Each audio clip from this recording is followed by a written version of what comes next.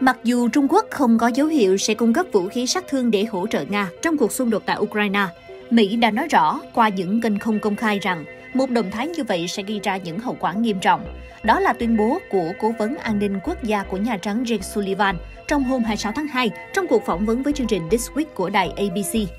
Vào thời điểm này, chúng tôi chưa thấy họ thực hiện bước cung cấp vũ khí cho Nga vì mục đích xung đột ở Ukraine.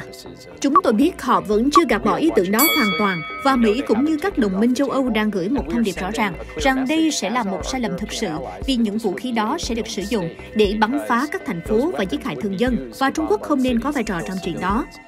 Mỹ và các đồng minh NATO của họ trong những ngày gần đây đã cố gắng ngăn Trung Quốc không thực hiện động thái như vậy và công khai tuyên bố Trung Quốc đang xem xét cung cấp thiết bị sát thương cho Nga. Bắc Kinh đã bác bỏ thông tin này. Các bình luận được đưa ra khi những người biểu tình trên toàn cầu đang kêu gọi chấm dứt xung đột hiện đã bước sang năm thứ hai.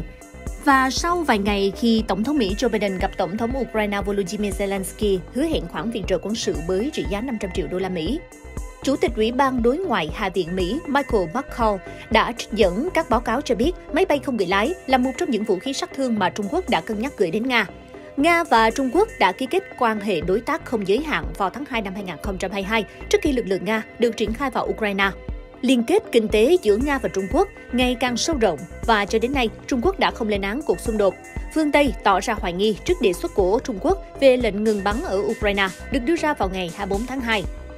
Các thành viên hội đồng không nên bị đánh lừa bởi những lời kêu gọi ngừng bắn tạm thời hoặc vô điều kiện. Ukraine sẽ không chấp nhận đề xuất này trừ khi Nga cam kết rút quân. Hãy bấm đăng ký kênh Điểm Nóng Toàn cầu và nhấn nút chuông để dòng thời sự thế giới luôn sôi động trên màn hình của bạn. Điểm Nóng Toàn cầu, video mới nhất về thời sự thế giới từ báo Thanh niên –